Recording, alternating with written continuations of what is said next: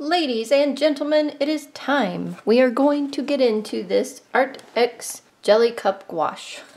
so in this video, we will swatch this out, let this dry, and then compare the dry swatches to what the paint looks like wet, so we have some kind of idea for that, and I can reference my video later when I want to paint with that, which I will probably never do, but hey, the thought is good. Plus, remember this, this is that crazy sketchbook that did not take watercolor even though it says it's 100% watercolor paper. So I finished the sketchbook completely, made the last page, but on the back of the last page, I do have a blank piece of paper still, so I will be trying this gouache on this last sheet of paper and so the people, the two people that have won these in the giveaway will know if gouache works on here or not, at least according to what I think. I am also using my Etchr A4 sketchbook, getting ragged because it's getting near the end, which is great. However, because it's getting near the end, I have the paper kind of bubbles up right there. Bubbles, I don't know. You know what I mean. It just sticks up. And I don't want to use an office clip because it does put a groove on the paper. So I just have a hair tie and I'm going to pull it around the paper and scooch it down and hopefully the hair tie doesn't like break and snap at me. there we go. So that holds that down perfectly. And I still have tape in there because I have an unfinished, I have an unfinished painting. Ah, yeah, here is an unfinished painting I have to finish.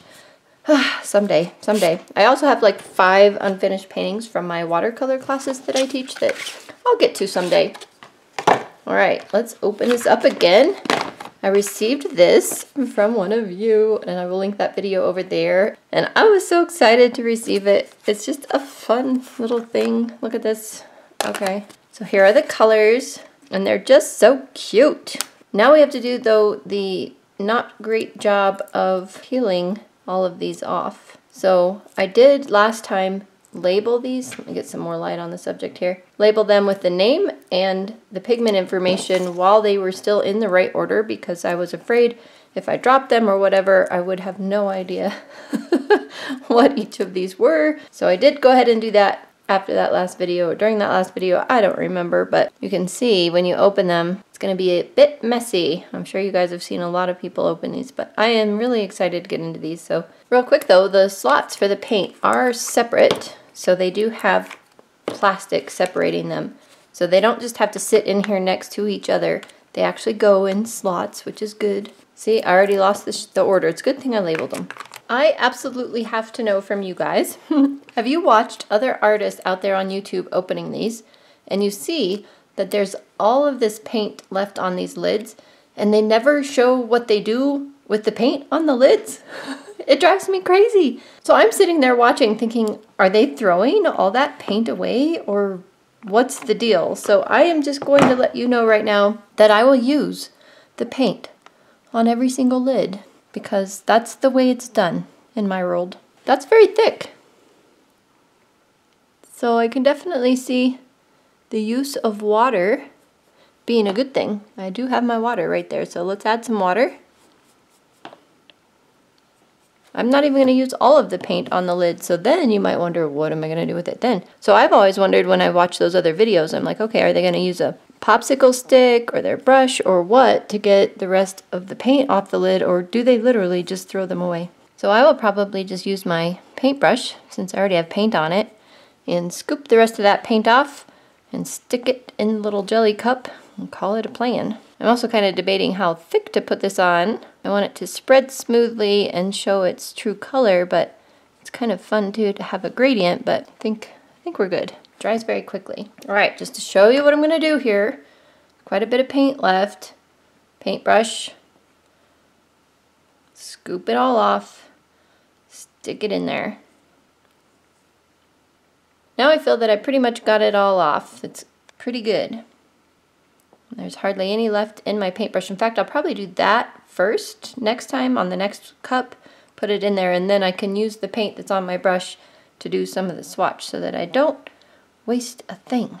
And the swatching is sped up a lot because it takes forever to peel all the individual lids off and then take the paint off the lids and then paint in a big swatch. I should have done smaller swatches, I think.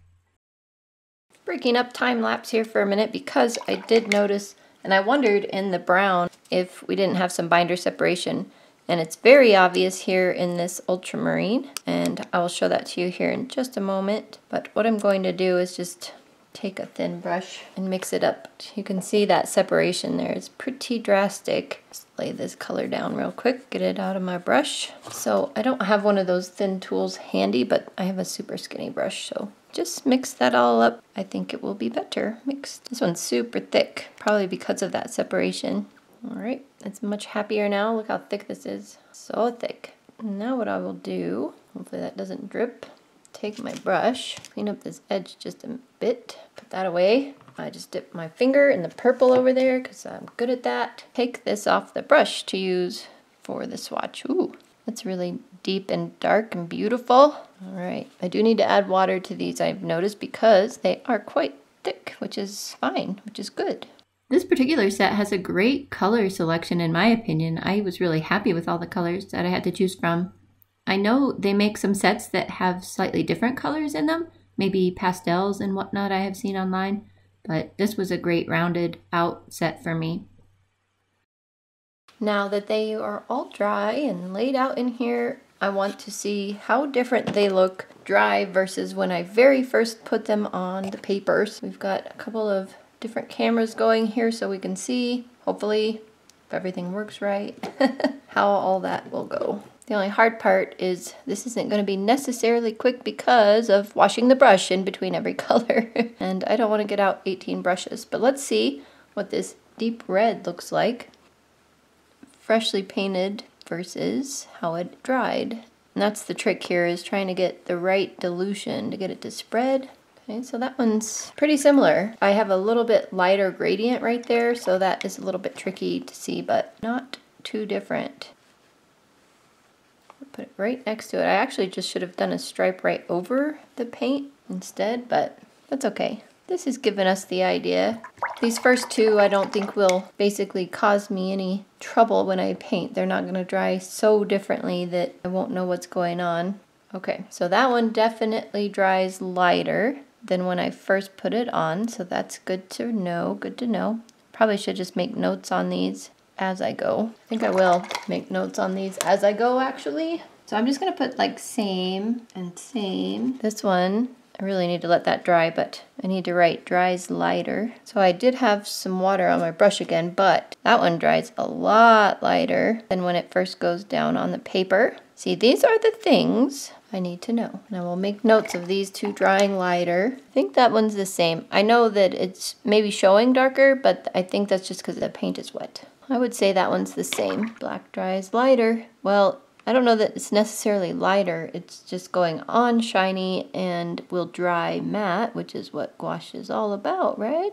I dropped water on that. Oh, look, and it came off on my finger. Can you see that? Can you see that?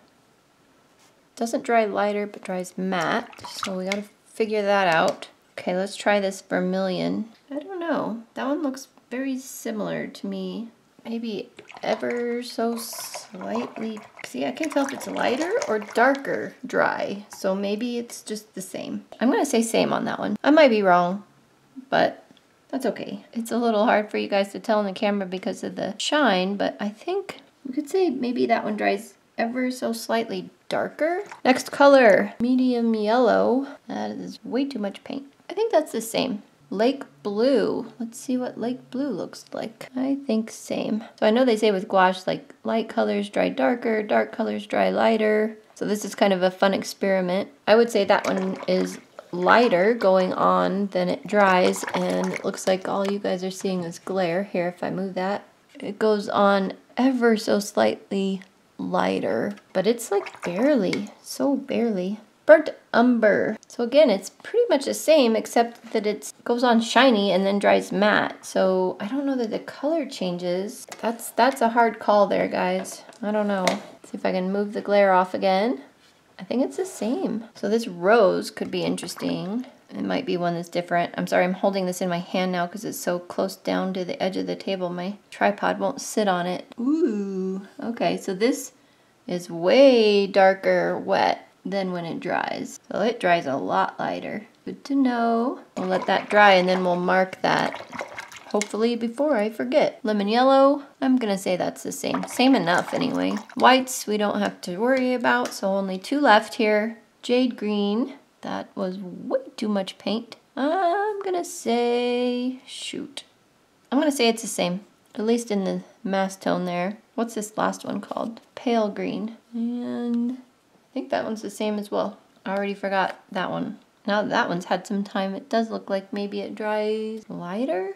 That one definitely dries lighter. I'll have to rewatch the video for that one because that was like six seconds ago and that's too long ago to remember anything. So good thing I have this recorded. Okie dokie.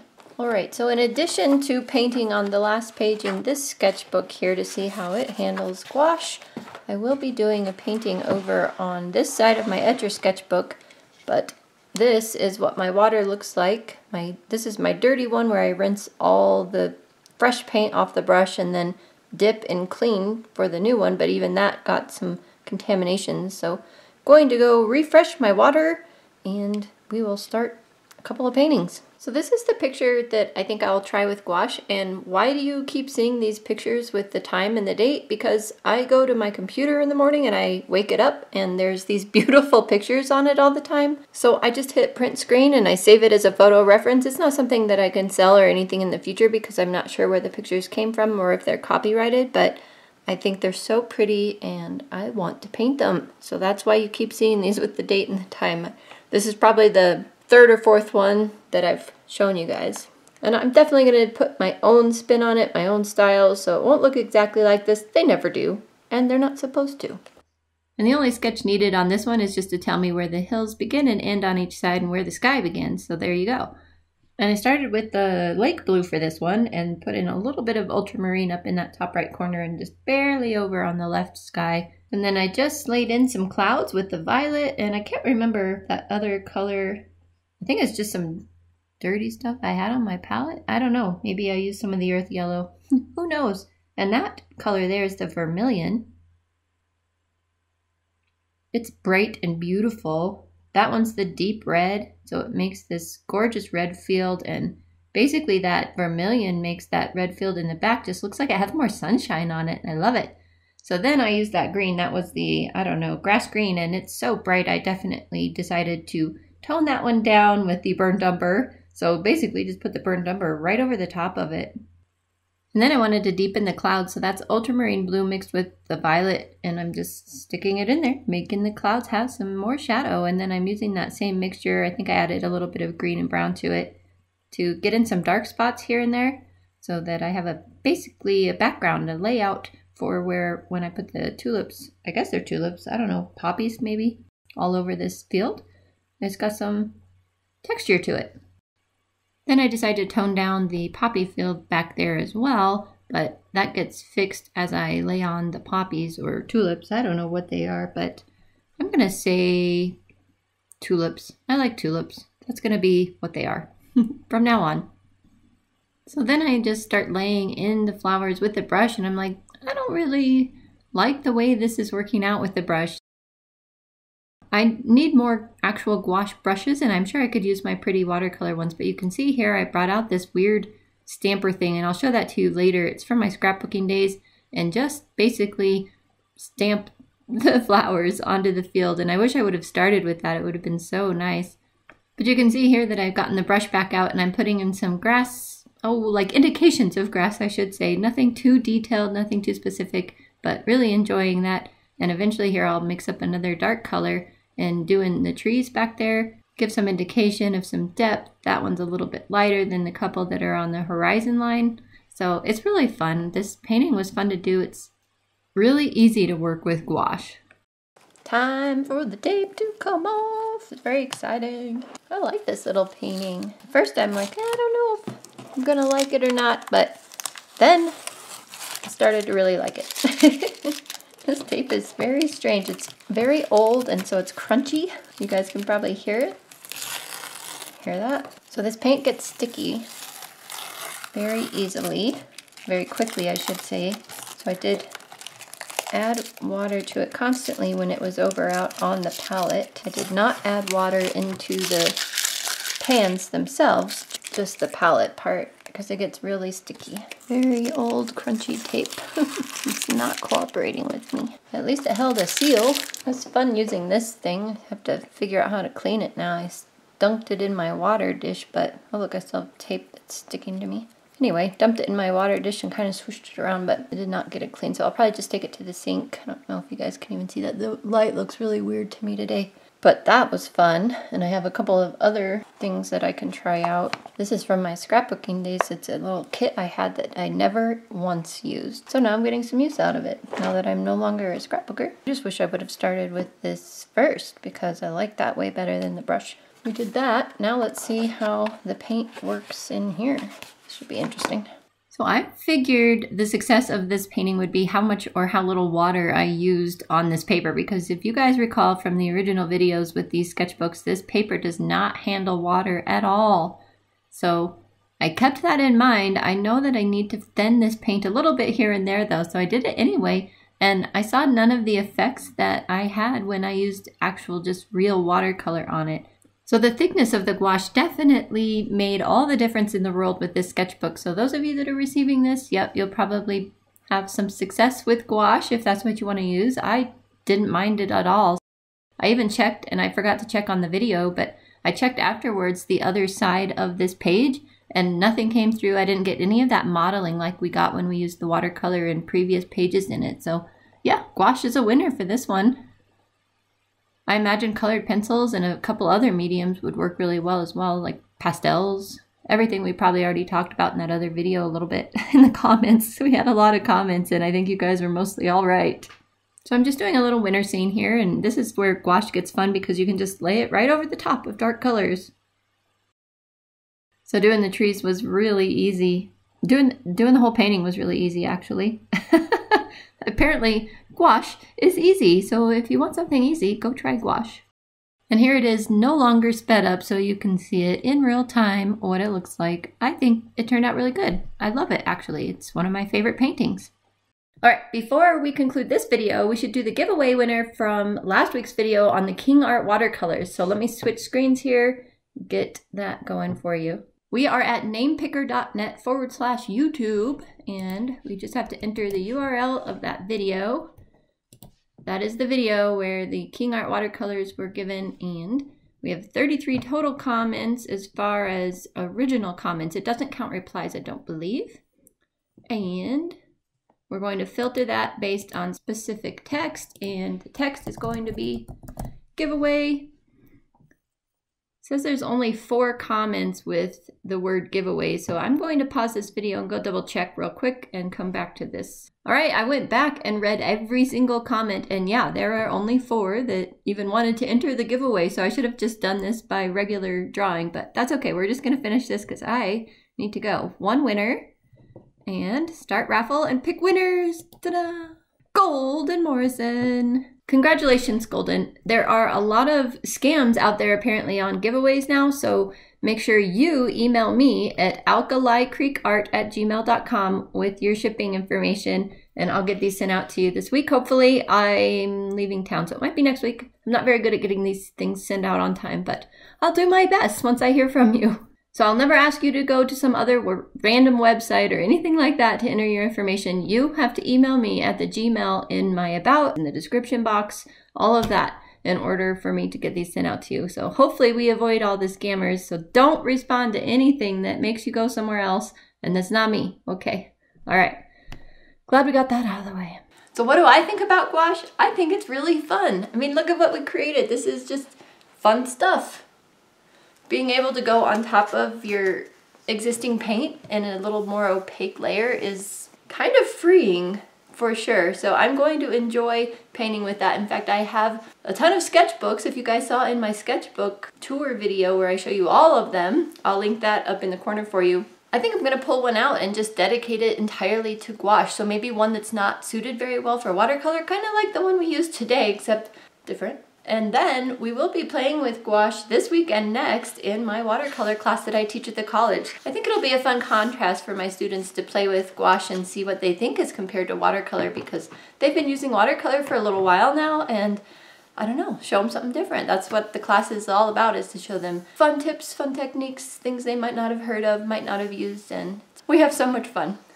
Okay, I've said fun about 10,000 times in this video, so you should probably go back and watch it from the beginning and play some kind of fun game for as many times as I've said fun. Alright guys, I have more painting to get to, so I'm to let you go for now, but I will see you in the next video. I'm really looking forward to it.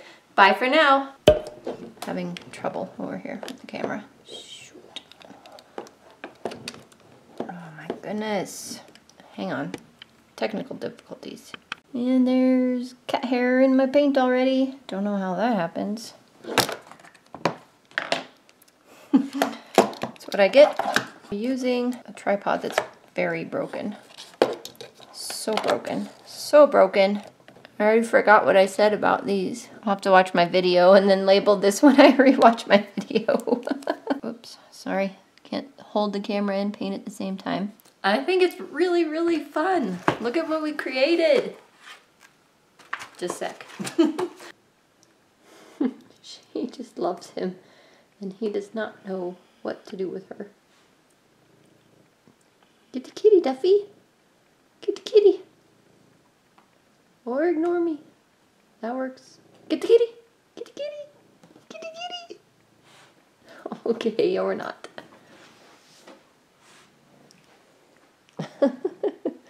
she just wants him to love her.